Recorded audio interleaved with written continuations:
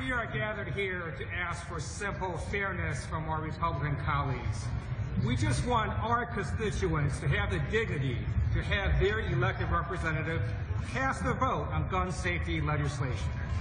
That's how our democracy works from the founding of America to the present day. The American people debate the great issues of the time.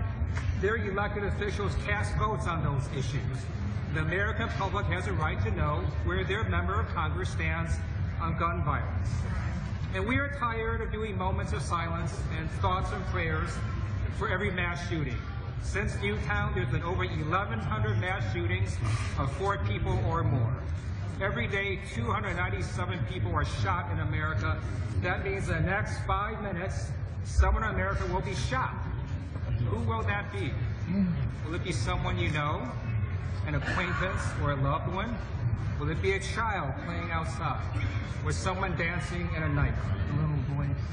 Now, I am not unaware that different members have different districts and some of our Republican colleagues have hard districts and hard lives. They got to, you know, deal with extremists in their constituencies.